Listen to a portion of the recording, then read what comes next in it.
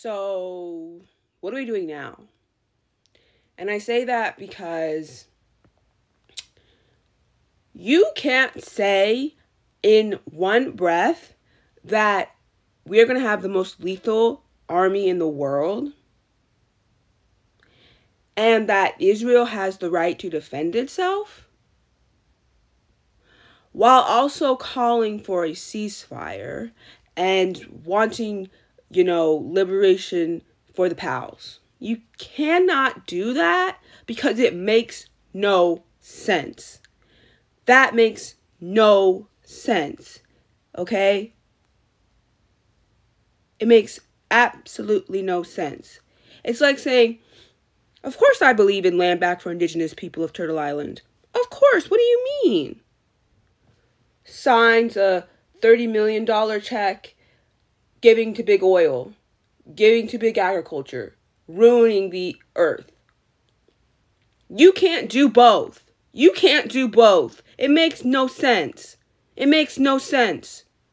Feel how you want, but that doesn't make any sense. And if it makes you feel better that she said that, oh, we need a ceasefire too, you can't say that Israel has the right to defend itself. What are they defending themselves from?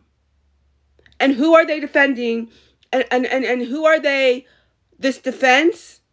What are they doing with this defense? You can't say you want a ceasefire and that they deserve and that you will always support Israel. It doesn't make any bit of sense. And I don't understand why people are acting like, oh, but she did say she was in she was pro ceasefire. You're supposed to be pro get Israel the hell out of there and let PAL have their economy to their land.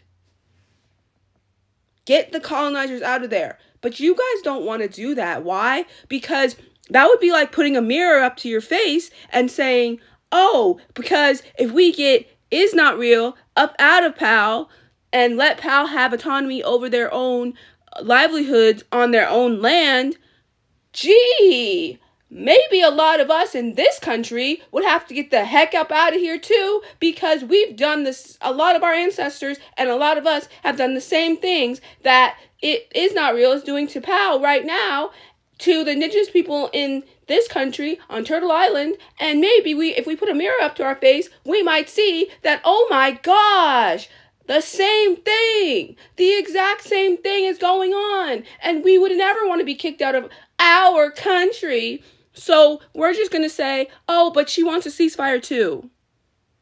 You guys make absolutely no sense. And it really just bogs my brain like forever. Like you say all the time, I want change. Things are so hard. Life living in this country is so just difficult. I can't afford groceries. I can't afford nothing. Everything is just really hard. Healthcare is not doing what it should be. Healthcare should be free. I want these student loans gone. All of these things. And yet you're clapping and you're cheering and you're so proud that a nominee for president just said that we're going to have the most lethal army in the entire world and that it will always support is not real and that it will always make sure that they have the right to defend themselves. But you seem to not understand what that means. That means that all the money that could be going to healthcare, to getting people houses, to, to feeding people, to doing a lot of things that could be happening that you swear you want to happen in this country, all that money that's going to go to the military, all that money is going to go to is not real. You are not going to have any of the things you want in this country because it's all going to go to them. So that is not real can have health care. So that we can go and continue to bomb brown and black countries.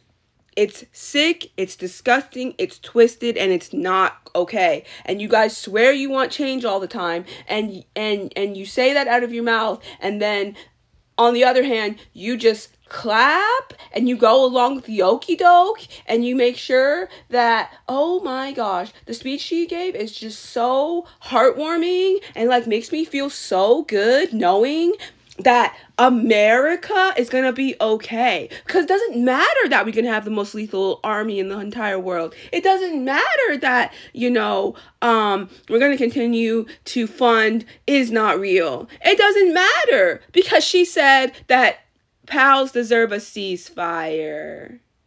Not that is not real should get the hell out of there, and not that they should leave the pals alone and let them have autonomy over their own lands. No, why would we say that? If we said that, then we're going to have to leave this country because, gee, we are doing the same thing to the indigenous people here. So we would have to get the hell up out of here. And we just can't do that. We just can't do that. So we're just going to ignore ignore that whole thing because she said she wanted a ceasefire. She said it. She said it. So what more do you want? What more do you want?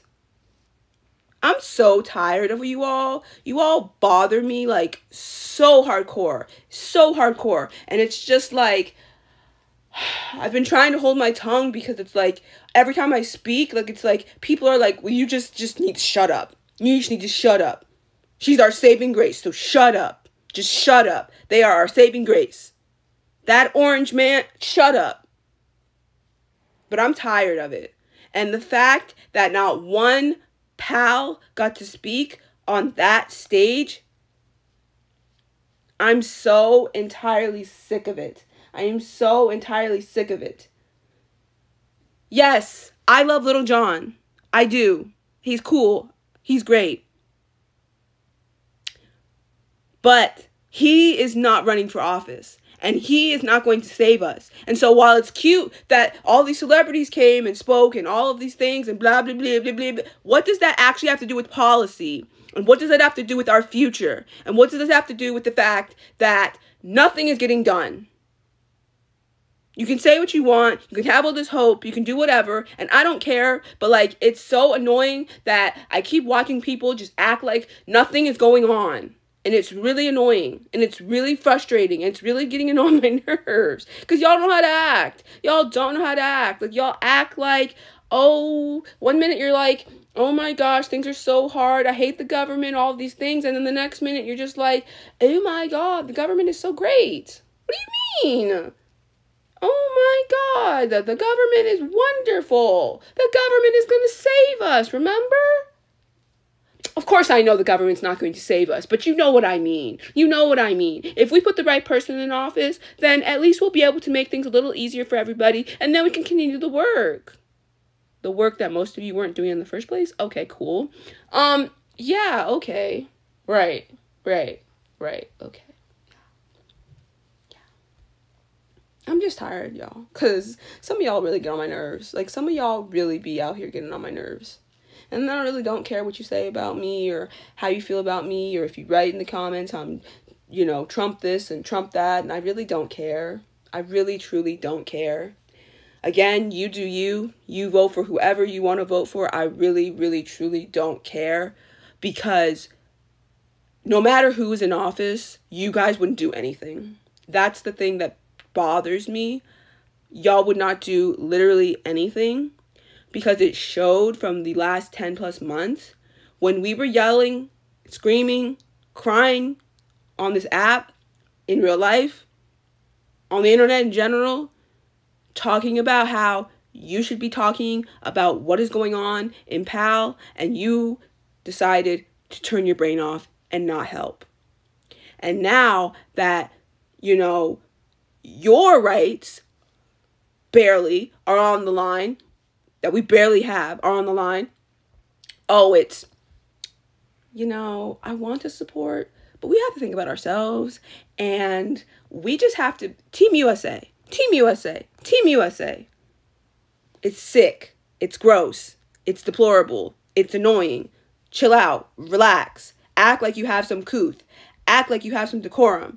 Just what are we doing? What are we doing? Because it feels like business as usual. So much for change, so much for progress. I really thought we were on something, but I should never get my hopes up that y'all care. Y'all should I should just never do that. So, yeah, y'all yeah.